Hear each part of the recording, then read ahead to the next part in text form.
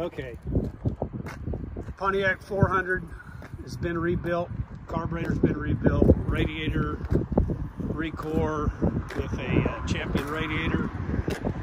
Power booster's been rebuilt. Compressor and air conditioning is, is ready to go. Power steering, power brake car. Air conditioning.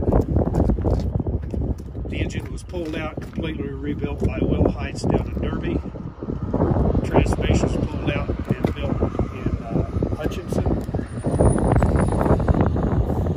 Two brand new BF Goodrich TA radial tires on the front. Back tires have not been done. It's got disc brakes, the rotors returned, and new disc brake calipers and pads, new wheel cylinders on the back, back brakes with drums.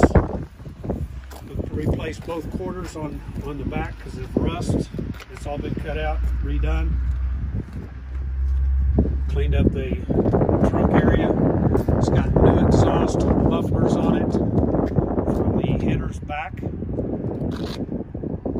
And other than that, the exterior of the car has been repainted in, in uh, 20, November of 20. The interior is pretty much all original.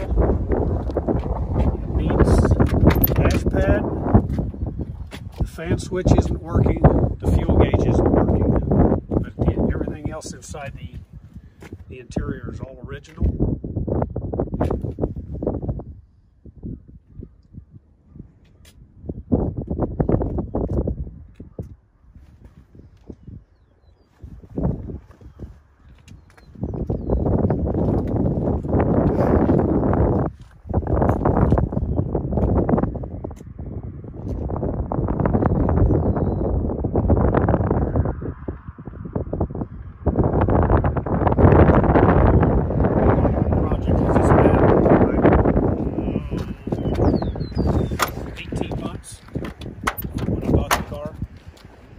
So